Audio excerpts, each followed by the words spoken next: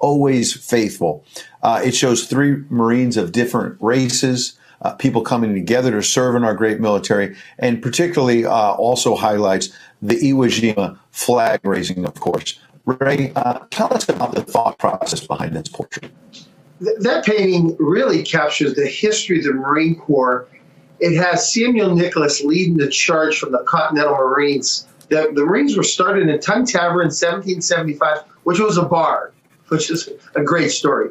But hmm. and he's leading the charge, and ghosted behind him is the markings that mark Tun Tavern in Philadelphia, and then it blends into Parris Island, where all the Marines left in 1917 to enter World War One. Although World War One started in 1914, the United States entering that war ended it in 1918, which they laughed at Americans. The Germans laughed at Americans and said that we can fight um, we like drinking and women and sports, which they were right on the three, but they were wrong on the fourth. And then, then it goes.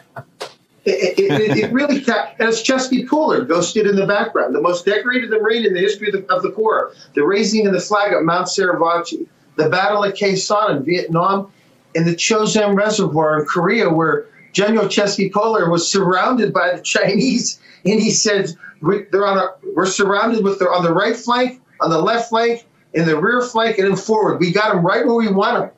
I mean, the Marines are just 1,000% dedicated, will not lose, will not leave a man on the field. And it embodies the principles of America that I fell in love with and I embraced and dedicated my entire life to paint.